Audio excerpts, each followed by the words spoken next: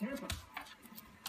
Good plays at both ends from one from a rookie in front. Stralman gets a heck of a shot in. The rebound there for a second. Van Riemsdyk knocks it out of midair to clear it from an oncoming traffic. And then watch the left of your screen.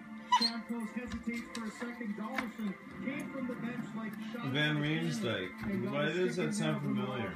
Played for Toronto. Did he?